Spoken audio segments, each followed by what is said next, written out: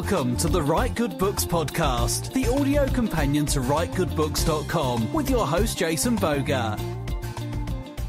Welcome to the Write Good Books podcast. I'm Jason. I'm Scott.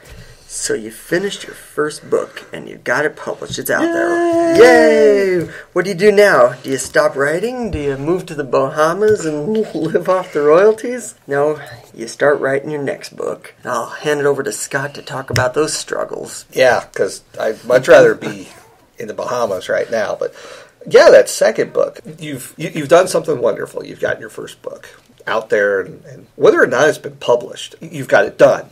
Congratulations. Now let's assume that you have published it. You've gone through selling it and that process. Now you've got a book out there with your name on it that you've got to sell. And what does that mean? You're hitting your social networking. You're maybe doing book talks, checking statistics. Uh, if you're selling it yourself or looking for input from the publisher, if you're really lucky, they want you to get on a speaking circuit or, or something like that. More than likely, with your first book, you are the one lining up your speaking gigs at local libraries, for reading clubs, uh, schools, depending on what you're doing. You have so much more work still associated with that first book. Yeah, you're no longer the writer sitting in your desk in the middle of the dark, drinking an alcoholic beverage, betting those words out. Now all of a sudden you're a marketer, an advertiser, a public speaker. And, and even if you got the sweetest marketing deal from your publisher, you still have to get your name out your way. It's not like it used to be, I guess. I, have never known a world as a writer without having to sell my own right. I, yeah, I, have I've heard that in the glorious olden days, the, the big publishers would publish you, and they'd do all the work, and you would just show up where they tell you to show up. Now the big ten or whatever is down to big five, and new writers are not going to get the marketing and publicity that they could have expected 30 years ago. And in this world of we're self-published and we're small press writers, you know, our, our publishers, if we have publishers, aren't really going to do most of that marketing at all, and it's all on the writer at this point. Yeah, uh, the the marketing dollars are just not there for every author from Publishers House. So you should just plan on, on doing it yourself. And, and how you do that is another episode. We're going to be talking about writing your second book while you're doing doing all of this. Unless Jason decides to change topics and do some fancy editing. we won't be a discovery writing on this podcast. okay. So both Jason and I, we have books out. We've both hit the talk circuits in various ways. I'm self published. I have no publisher to fall back on for my marketing. Jason's with a small publisher. They have some marketing, but not quite the power of, say, a, you know, one of the top top five. So you've got these other time commitments, but you still want to get that second book out. I'm finding that I'm just having to schedule my book writing time is half what it used to be. I'm spending the other half of what used to be writing on book business. So that's that's my coping mechanism right now. Jason, what do you yeah. do? Well, it, it's kind of sad because you know you have all this momentum from your writing, your writing, and you're published, and and now you got to kind of break that momentum and shift your focus.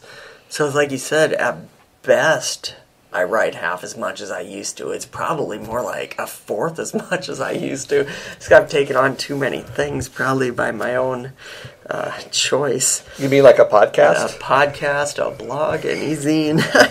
Lots of fun stuff, though. I've pretty much budgeted my writing time to weekends right now, and during the week is when I do all of the marketing, all the blogging, everything else involved. So on weekends, I'll schedule three or four hours where I, I can just shut off the world and just work on my next novel. And it's it's not easy because you want to write I and mean, that's what you're here for. You love to write you love to create. If you're like me you don't like giving speeches. Uh, scott's got a lot of experience yeah I, have got a lot of hot, i've got a lot of hot air. A lot of hot air I, you know, I, have done one convention so far. I was on six panels there, and that that's it for me so far. So now, now my book's out there. I need to start working on that. Part of the problem is finding places where you can promote your book. Libraries? Yeah. Maybe? yeah. Here, here's a uh, here's a tip. My, my day job involves libraries. and uh, I was public library director for a while. And let me tell you, an email that's five screens long is not going to sell your book. You're not going to sell your book if it's in a weird actual format, like the book is spiral bound and half the size of what a normal book should. Uh, there are some physical considerations to that. But if you're trying to market your book, and it seems like this is where our discussion is going, you have to have those things in, in mind that you've got to sell it not in one email in one shot. You are going to have to make repeated, smaller efforts to build a relationship with that book buyer before they'll think about buying that book. And, and that takes time. Again, the, what we're talking about is time away from your writing. If you're going to become a successful book marketer, you're not going to do it with a five page email. You're not going to do it with this random postcard that may or may not actually make it to the librarian's desk or the bookstores you know, whoever's in charge of buying. If you're going to sell your book, you got to take the time, and you're not going to do it through them. You're going to do it through your potential audience who go to the library, who go to the bookstore and say, "Do you have this author's book?"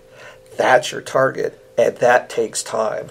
Wow, and that that's interesting because you've got to make that relationship with a potential fan base, and if you have a fan base, they're going to want another book.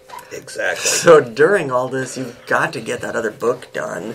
And I, I'll admit, I beat myself up over this all the time. I'm like, my, my book came out May 1st, and I don't have my second book ready yet. And I think the solution there is really you got to set up a firm time budget and stick to it. I'll throw out, a, you know, just a random example. You know, give yourself an hour a day for promotion and an hour a day for writing. You know, it, it's so hard for people to come up with good schedules. We're busy. We're crazy busy. yeah, I mean, both both of us are still working our our full time jobs, and we both have families uh, you know, with families come all sorts of interesting issues that take you away from randomness. Yeah, life. yeah. You know that happens, and so you really need to to be thinking about uh, that with your with your goals. Before, I don't know if Jason, you went through this, but when I wrote my first book, I said I'm going to write a book a year. Yeah. it's completely doable because I, you know, I'll just spend all this time writing. I expected to be well into my revision stage of my second book right now. Yeah. No. I am still neck deep in first draft. it just, I, am still promoting my writing. I'm still doing my, my possible future full time career as a writer. But it's all, you know, I'm spending a lot of time marketing and talking it up and building relationships instead of the actual writing. Yeah, and a, a book a year is a goal. I think that's what we should shoot for. A, a year it should be enough time. Six months to write it, six months to revise it, but then when do you market? When do you submit? You know, I, I'm hoping my next book can be through an agent with a traditional publisher. That might take two years it's all about just figuring out what's important, I guess. I, the way I try to budget time for stuff like this is I if I know that I need to write say 500 words a day and I know I can write 500 words in an hour and a half, then I look at well what can I give up for an hour and a half and work on? In my case, it's usually exercise, I guess, but or sleep. It's usually sleep. And you don't want to do that to yourself too many times. We don't want to sound all doom and gloom here because right. we're still happy to be in the process. Mean, Jason and I are still talking about future book ideas, but still, until we get to that part, part of our lives where we are full time writers, where we can hire writers' assistants, we just have to kind of be realistic in the time frames of when we get that second book done. Now, again, maybe you're lucky, get your first book sold, or maybe you're, you're still able to write that second book while you're trying to sell that first book. It gives you that, uh, that heads up. Maybe we're talking about your third or fourth book at this That's point. True. Maybe you've got number two and you're selling that one to a publisher while number one is out on the streets. Congratulations. Right, right.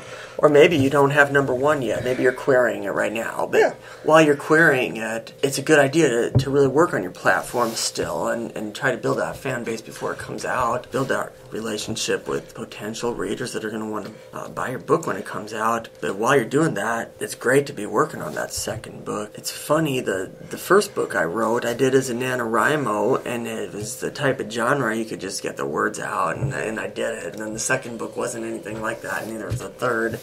So now I'm really struggling. And when I wrote the first book, I didn't have kids yet. Now I've got at least three that I know of. Without now I got three young kids, and they're great. And they understand when Daddy goes downstairs to write that that's that's his second job. And they don't usually cry. That's that, that's what buys them Transformers for Christmas. Yeah, I don't know if I've made enough royalties to buy a single Transformer yet. Not even one of those little tiny Yeah, the little ones. Okay. We're getting there, but see, that's why we got to spend the time marketing, mm-hmm. so we can buy lots of Transformers. we ran that one into the ground. So yeah, I think what we're trying to say is be realistic in in what you want to do. Don't give up. It- Don't get frustrated. don't- yeah, and the more effort you put towards the selling of your first book will help the sales of your second book and your third book. And, well, and however many more, and maybe it's not books, maybe it's short stories or mm-hmm. or screenwriting or whatever. But in this profession, there's a lot to be said about having a brand with your name, you know, with your name. Uh, a lot of people, again, this is coming from my library career. Hey, is that new Dan Brown book coming out? They don't know the title. Right. They don't know when it's coming out. They just know it's coming soon. You know, a- and, when's the next Grisham? When's the next?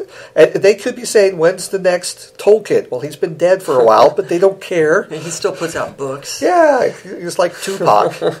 you know, but that's what's selling the the books to many readers is who is the author. and it'll help you sell yourself. If you if you have a self published book and you sell ten thousand copies, wow. yeah, you, you'll be sending out query letters to agents, and you'll be getting responses.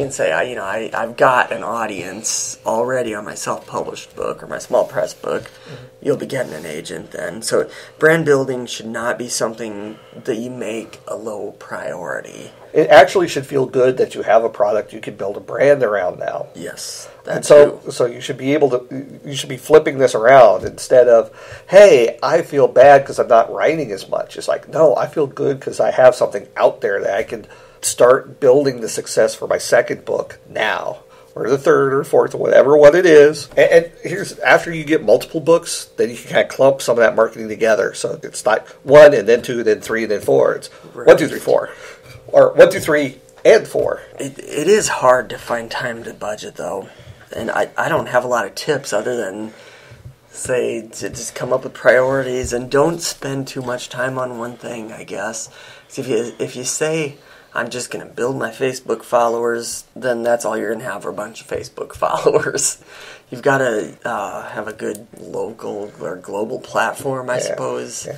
Well, it also depends. Like, oh, okay, let's we talked about Facebook. My Facebook presence is horrendous. I'll admit that. But where I'm doing my work, it's at the level of the librarians, and what, I wrote a book about local history. So I'm going to that local place and working with the museum and and movers and shakers in that community. You're doing a really good job. You, you zeroed in on who your audience would be, and that's who you're focusing on. Exactly. Now, my next book, which I'm hoping to have a larger audience, that's when I would bring in the Facebook presence and, the, and that type of thing. Yeah. Because I want to spread it out.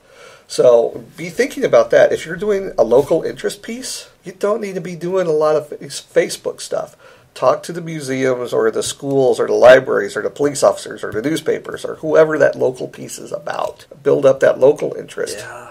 If if you're writing genres, find conventions in the area. Mm-hmm. Try to get on a few panels. My novel's young adult, but it's it's got a bit of a paranormal twist to it. But I, I found a local science fiction convention. Um, a lot of my short stories and theme of absence are sci-fi based, so I didn't have a problem being on panels there to promote not so much my novel, but just promote myself and, and my brand, if you will. But no matter what you do, don't stop writing, or by the time people want your next novel, it won't be ready. And then what do you do? Yeah. Yeah. You don't want to be Harper Lee and wait 80 years or I don't know. Uh, she had a pretty good career, you know. No, See, that's the that's the good old days when somebody can write one book and live off it for the rest of their lives. I don't know because you write one book and then you're always chasing that book. If it turns out to be super successful and you're always chasing the success of your your first book, I'm happy with the results of my first book. It could have been better. Again, it was my first book, niche, local content. I don't know if I could have lived with a one book. it's the best book ever type of thing, and then yeah, so many musicians Yeah. have that problem. You know, they spend 10 years and finally get their record deal, and then when the second CD is due, do they still buy CDs? no, Let's say album. the No. second second album is due and they don't have anything, and then you know who's ever heard Alanis Morissette's second CD? Yeah. Okay, who's heard her first besides me in this room? I, I she had a It's second. a dated reference. This is, this is after her Canadian pop. The, I the- think so. Okay, the Alanis Morissette that our generation knows. yeah. I don't know how we got into this discussion, but isn't that ironic that we're talking about time and we waste it? We're still young and cool, I promise. Maybe that's a good closing point. I think our takeaway is don't spend your time thinking about Alanis Morissette. I think that's our takeaway. Finish your first book, publish it, either self publish, uh, small press, go traditional with an agent if you can, and right away work on that second book. And on that note, I think we'll close out this episode. Thanks for listening. Visit us on the web at www.writegoodbooks.com. Check back next time. See ya.